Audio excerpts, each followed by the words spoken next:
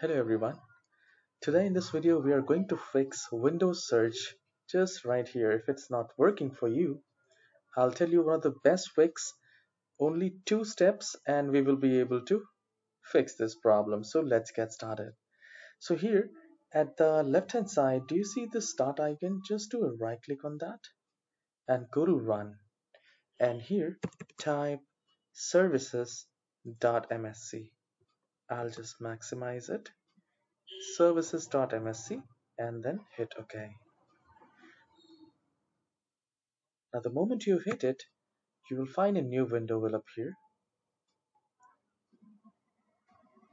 like this.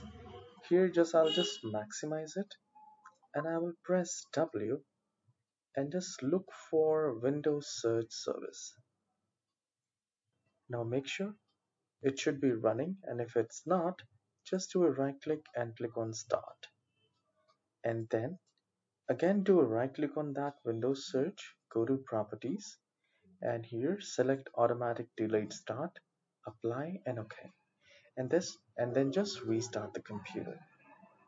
And if it's not working we will move to the next step and that is I'll give you a command in the description which you just need to copy it and press window and R and you will get this run window and just paste that command and hit OK.